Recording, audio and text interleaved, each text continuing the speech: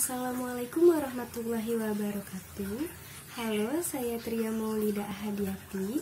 Hari ini saya akan melakukan praktikum dasar kulineri dengan materi uh, makanan kecil. Kali ini saya akan membuat kue putu ayu Dan selamat menyaksikan